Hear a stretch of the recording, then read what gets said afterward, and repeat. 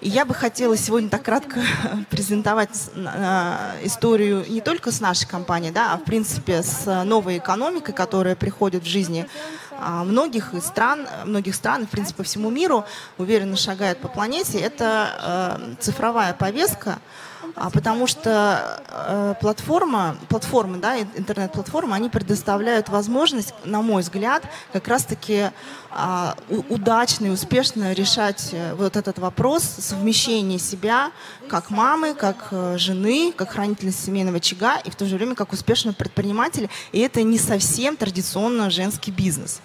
То есть э, нас считают э, компанией, которая дает возможность э, сотням, тысяч, уже почти миллионам людей сделать социальный лифт э, в жизни. Но я считаю, что это тоже очень важно. Но главное, поскольку я женщина, это то, что мы даем возможность девушкам и женщинам а, как бы сказать, увидеть, что для них есть совершенно другая история, что они не обязаны выбирать, они не обязаны э, как-то подавлять в себе, например, свои естественные потребности и желания, и, в принципе, задачу, которая перед ней ставит природа и общество, и, в принципе, человечество, да, они могут причем они могут создать как легко, ну не легко, скажем, глобально масштабируемую историю, потому что у нас есть девушки и женщины, которые имеют миллиардные обороты на нашей площадке, да, миллиардные рублей. И в то же время у них есть семьи, они ну, как бы совмещают успешно эту роль.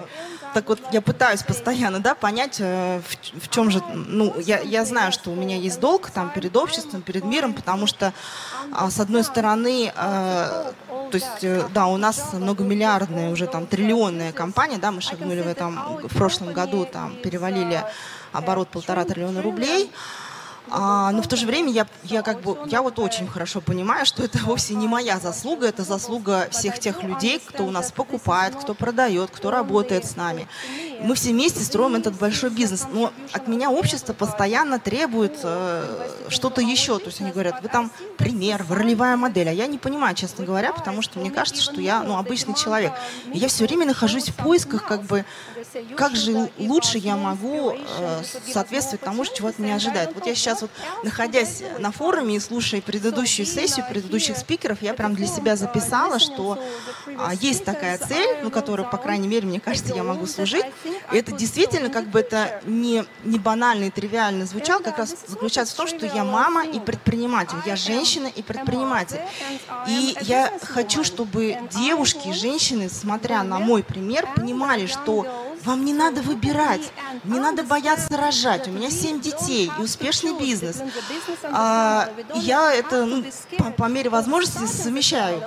Потому что для женщины, вот для девушки, когда она рожает ребенка, это просто level up. Вот просто level up.